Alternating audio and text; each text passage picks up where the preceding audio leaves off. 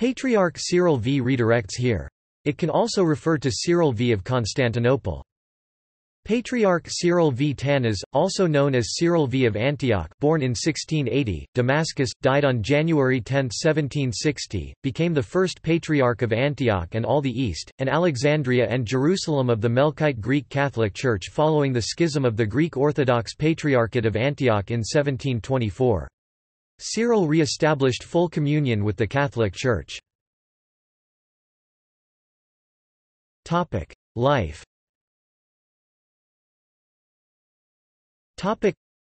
Seraphim Tanas was born in Damascus in 1680 and he was the nephew of Euthymios Saifi, bishop of Sidon. On August 3, 1701 he arrived in Marseille, France and from 1702 to 1710 he studied in the College of the Propaganda in Rome. Returned in Syria he was ordained priest by his uncle and he was distinguished for his sermons.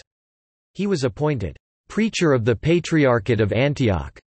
By Patriarch Cyril V. Zaim, like many of his fellow clerics Seraphim Tanas favored re-establishing full communion with the Roman Catholic Church. He was elected on September 24, 1724 by the Melkites of Damascus as the new Patriarch of Antioch, and was consecrated as Cyril V in the Patriarchal Cathedral of Damascus on October 1, 1724 by Neophytos Nasri, Eparch of Saidnaya assisted by Basile Finas, Eparch of Banias and by Euthymius Fadl, Eparch of Zahle and Furzol. As Cyril was a prominent pro-Westerner, the Orthodox Patriarch Jeremias III of Constantinople, felt his authority was challenged. Jeremias declared Cyril's election to be invalid, excommunicated him, and appointed Sylvester of Antioch 1696 a young Greek monk, to the Patriarchal See of Antioch. Jeremias consecrated Bishop Sylvester in Istanbul on October 8, 1724. The Sultan Ahmed III withdrew the recognition initially conferred on Cyril, who was forced to flee as emissaries of Sylvester arrived from Constantinople with a mandate for his arrest. Cyril took refuge at the Holy Saviour Monastery near Sidon, located in modern-day Lebanon. Cyril's safety there was guaranteed by the Shihab emirs. Sylvester unleashed a hard persecution against all who elected or supported Cyril, many people were exiled and all churches were taken by Sylvester's party.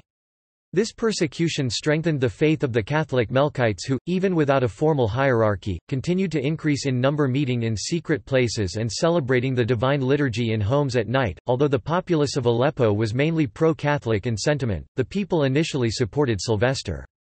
However, Sylvester exacerbated divisions with his heavy-handed rule of the Church, and many Melkites chose to acknowledge Cyril V as Patriarch instead.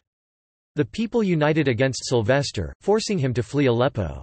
The Greek domination over the Byzantine Orthodox Patriarchate of Antioch lasted until 1899. Notwithstanding the many requests by Cyril for recognition, the papacy moved with great caution and took six years to recognize Cyril as the legitimate Patriarch of Antioch. The decision was made by Pope Benedict XIII and communicated, almost unofficially, to the Melkites in the synod held on April 25, 1730. From this time onwards, the Melkite Greek Catholic Church has existed separately from and in parallel to the Greek Orthodox Church of Antioch in the Middle East.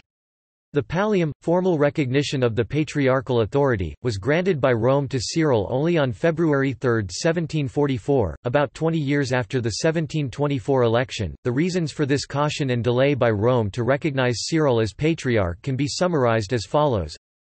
The election of Cyril had been not planned by Rome and Rome already had Catholic professions of faith by the previous patriarchs Athanasius III Dabbas in 1687 and Cyril V. Zaim in 1716.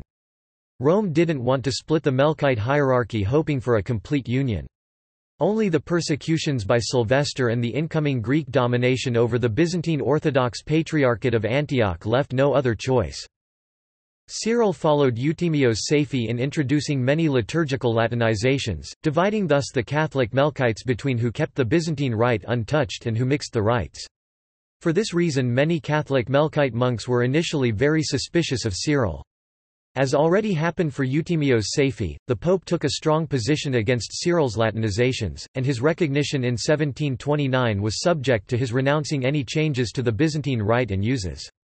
The Latinizations, supported by many Latin missionaries particularly by the Franciscans, continued to be a problem in the Melkite Church until the final position taken by the Pope on December 24, 1743, with the issue of the encyclical Demandatum that put an end to the mix of rites.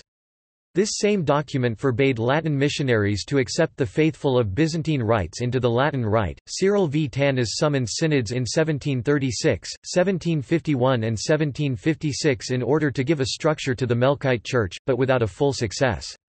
Cyril had failed to unite two Melkite Basilian orders, the Basilian Salvatorian Order and Basilian Chouerite Order of St. John the Baptist. He renounced in 1759 and died on January 10, 1760, leaving a complicated succession. See also. Topic. Patriarch of Antioch. Melkite Greek Catholic Patriarchate of Antioch and all the East. Melkite Greek Catholic Church. Topic Notes Topic Topic References Topic Descy, Serge 1993. The Melkite Church. Boston, Sophia Press. Dick, Ignatios 2004. Melkites, Greek Orthodox and Greek Catholics of the Patriarchates of Antioch, Alexandria and Jerusalem. Boston, Sophia Press. Topic. External links Topic. Melkite Greek Catholic Patriarchate of Antioch, Alexandria and Jerusalem L'Église Melkite, the Melkite Church.